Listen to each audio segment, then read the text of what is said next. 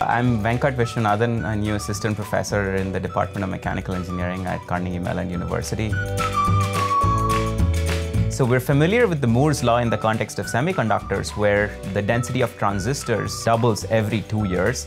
Uh, the analog for battery technology has been a rather disappointing one over a period of 150 years. We've sort of doubled in energy density, going from the lead acid batteries of the past to today's lithium ion batteries. And we certainly cannot wait another 150 years to double the energy density of the batteries. So we would really like to accelerate the pace of innovation in the battery sector.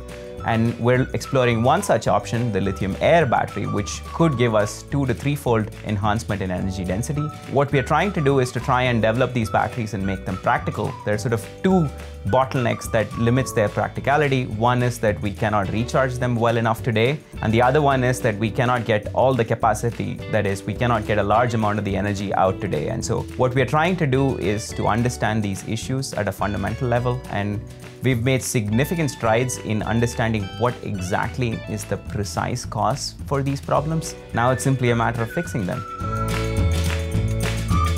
About a third of the world's energy consumption is in the transportation sector, and it causes about a quarter of the carbon dioxide emissions in the world.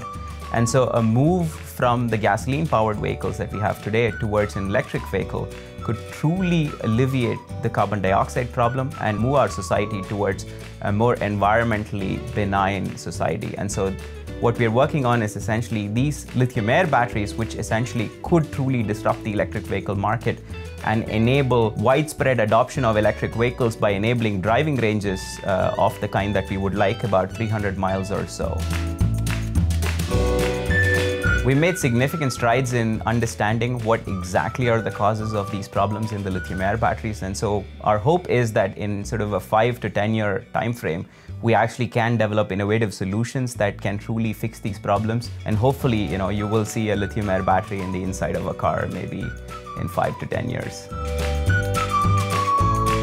The one thing I think is really crucial for enabling electric vehicles to enter the market is to relieve people of the driving range anxiety. The best electric vehicles today go about 100 miles, and so it's absolutely crucial that we work on more energy dense batteries and try and push this driving range to about 250 miles. Then you can do your cross country trips and not have to worry about your battery running out those, those uh, scary red signs.